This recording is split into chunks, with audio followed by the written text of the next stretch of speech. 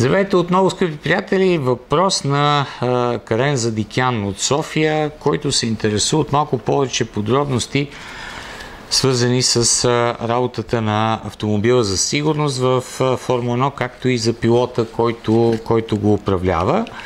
М- значи няма промяна в колата за сигурност за тази година, спрямо автомобила, който се използваше в а, миналия сезон.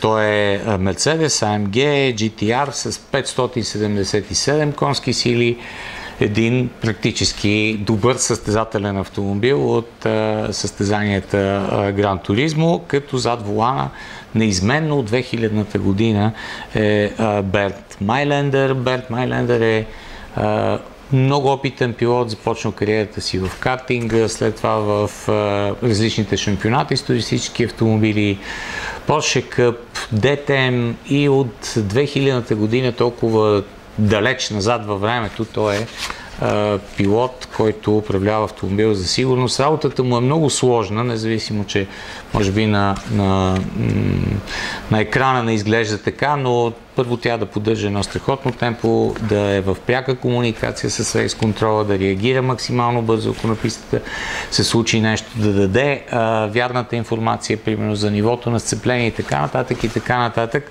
Като цяло автомобил за сигурност във Формула 1 е един изключително а, важен компонент.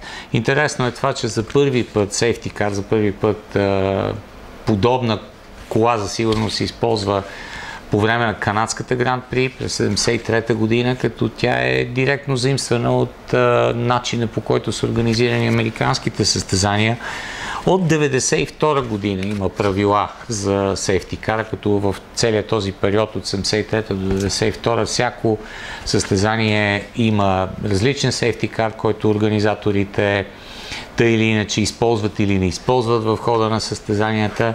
И през 96-та година, след като от 92 до 96-та година има различни отново автомобили за сигурност. Спомняте си Опела, който водеше а, колоната по време на Гранд При на Сан Марино на 1 май 1994 година.